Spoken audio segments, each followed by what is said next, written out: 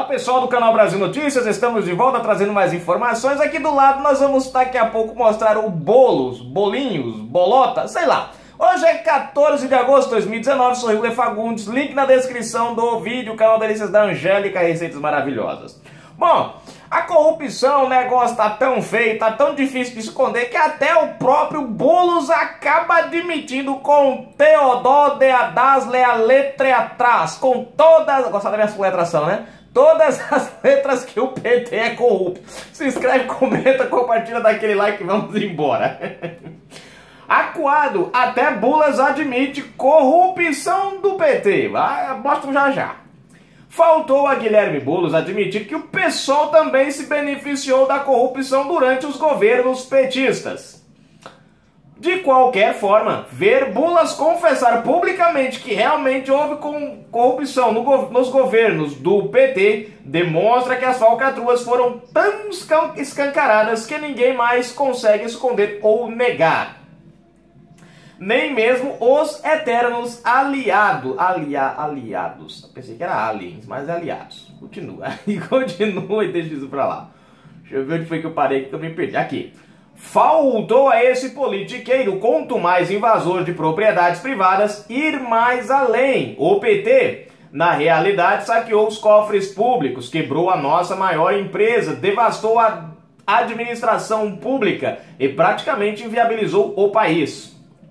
Bom, tem o vídeo para nós vermos aqui. Deixa eu descer. Tá, tá, tá. Vamos lá. Silêncio você ali. Vamos, vamos, vamos ouvir o, o, o Bolas, o Bolotas falando. Gente, toda a Lava Jato, uhum. todo esse processo, Petrobras, várias coisas flagrantes aí que colaram a palavra corrupção ao governo do PT.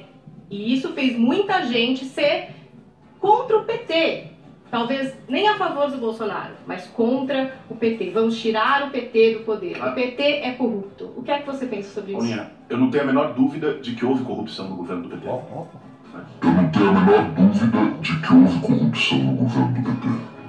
Pronto. Tá aí bolinhas dizendo que ele não tem a menor... Ah, bom, é, é isso aí, gente, é, é óbvio, né? É, é, isso a gente já sabe que... Agora, ele admite isso ao público, assim, na bucha, né? Agora, aí você vai falar, Glei, o Boulos está admitindo que o PT é corrupto. Cara, beleza. Não, beleza não, gente.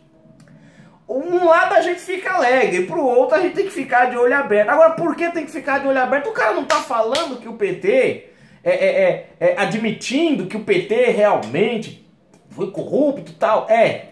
Mas isso, gente, também tem que ser levado em conta como uma estratégia.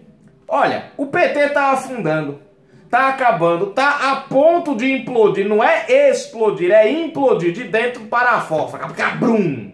Né? Se nós temos ali Glaze Hoffman querendo, eu vou inventar uma palavra, re, não, essa palavra existe. Redisputar, isso aí não sei se existe. Redisputar a, as, as eleições dentro do partido. Aí nós temos na própria ala dela, na turminha dela mesma ali, nós temos o Haddad que já está arrumando encrenca que também quer disputar o poste. Do outro lado nós temos uma ala que parece que é maior, que quer dar uma butinada na Glaze Hoffman. Então aí você tem Paulo Pimenta, os possíveis candidatos Paulo Pimenta, Paulo Teixeira e tem o outro que eu esqueci o nome agora. Ah, o Lindinho, o Lindinho. Ui, meu Deus, Lindinho Berg. Ele é o cara que quer também parece que é o nome que vai ser cogitado aí. É, é o fim de carreira do PT, gente. Ó, de um lado o Gleisi Hoffmann que tá afundando, do outro o poste que, pelo Deus do céu, cada frase uma gargalhada que a gente dá. Não tem noção. Do outro, Paulo Pimenta, que pelo amor de Deus, pimenta nos olhos dos outros. Aí tem o Paulo Teixeira, esse daí então nem se fala. E o Lindenberg, meu Deus, e fim de carreira. Literalmente o PT está. Eu nem sei como ele está, só sei que ele está, de ladeira abaixo. E aí o que acontece? Lula preso. Tá certo, gente. Tem aquele negócio do STF, os caras tentando ajeitar de um lado, né? Mas parece. Aí teve o da Intercepta, mas parece que as coisas. De um lado parece que vão boa, mas parece que do outro a engrenagem tá travada, não tá andando. E aí o Boulos está vendo essa situação fala, cara, o que, que eu faço? Eu preciso me fazer, eleição 2022, né? Eu tive, aí eu, eu fui bem, eu tive 1, 2% de voto, foi 2 ou foi 3, não sei, mas eu tive, foi muito, quem sabe, só faltou um pouquinho para eu ganhar, só faltou aí eu pelo menos, se eu tivesse pelo menos mais 49 dos votos eu tinha ganhado, 50%, mas por causa de pouco eu não ganhei, né? Eu só tive 3, quase que ele, né? Aí o rapaz fala, rapaz, o que, que eu faço? Eu vou detonar o PT. Gente, quando você vê um cara desse detonando o PT e admitindo as corrupções, por um lado é bom porque a gente comprova de dentro, né?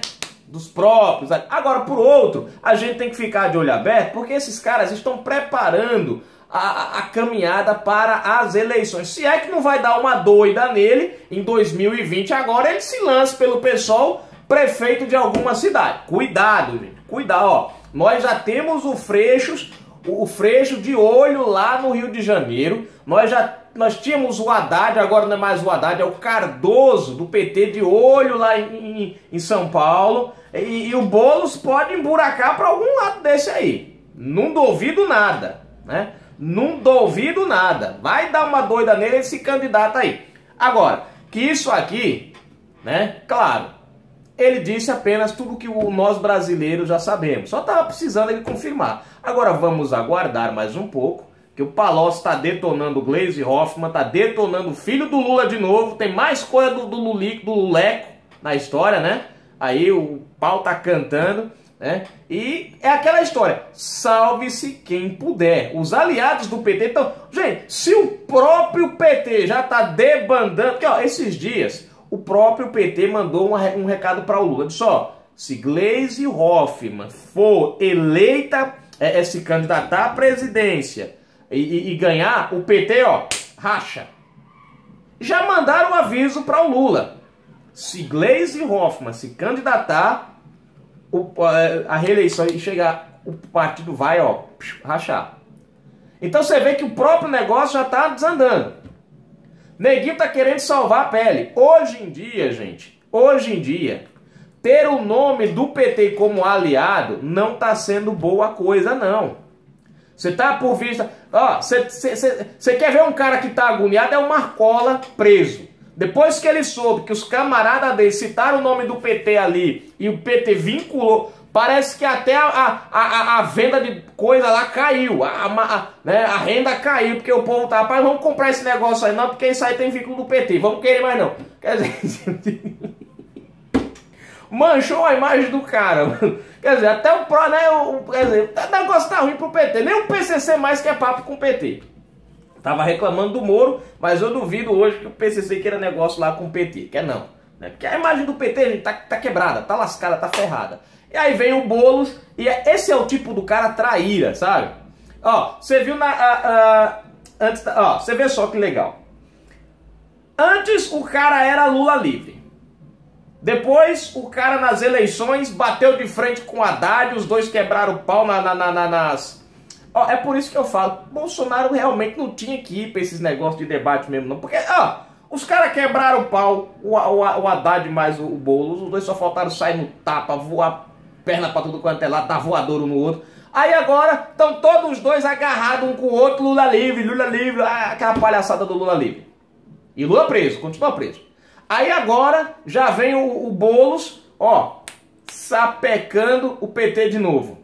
Então vocês veem, gente, que a coisa ali é assim, uma hora tá do lado, outra hora mete o pé, outra hora solta, outra hora chega, outra... fica aquele nó danado. Então tá aí, Boulos admitindo a corrupção. Agora não se enganem. Não se engane. Admitir a corrupção, beleza. Agora, o que é que tá, está por trás disso aí? Já diz o ditado aqui no Nordeste que tem gente que dá, é, é, não dá ponto sem nó, né? Não dá ponto sem nó? É, é. É. Ou não bate prego. É, não bate prego. Não, não, não, um negócio desse aí que, que dá. É, bom, que aí é mais ou menos isso. Esse cara não, dá, não, não bate prego sem estouro. Quer dizer, ele sabe onde tá fazendo a cacetada ali, sabe? É, isso é uma estratégia dele já pronta para prepa, preparando-se para 2020. Ah, 22. Aguardem. E olha que eu ainda acho que 2020 pode ser que ele dê uma surpresa aí, não sei. Ainda tem muito chão, né? Já que Manuela Dávila, né, que era a, a, a coleguinha ali também, tá fora do páreo, pode ser que haja uma aliança aí de, alguma, de alguns turminhos e queiram encaixar o bolso. Então, gente, nesse momento, para ele, é bom admitir que o PT é corrupto. Por quê? Porque quem é, quem é contra o corrupto, o PT, tá caindo nas graças da população brasileira. E é isso que muitos desses camaradas, como Bolos, vão usar para refazerem a sua imagem. Vão dar uma de bonzinhos, somos contra o PT, vamos mostrar os podres do PT e depois, ó, tomam o poder e aí voltam a praticar as mesmas coisas. Porque a verdade é uma só, PT e PSOL, ó, andavam juntinhos assim, ó, entrelaçados um com o outro. Ninguém se engane não, PT, ó, eu falo para vocês, PT, PSOL, PC do besta, PS besta, e, e, e, PDT e rede, esses seis. Ainda tá faltando um aqui, gente. Peraí. É PT, PSOL, PCdoB, PSB, PDT, rede. Putz, mano, tá faltando um aqui ainda. Não tô lembrado qual é, mas sei que são sete partidos.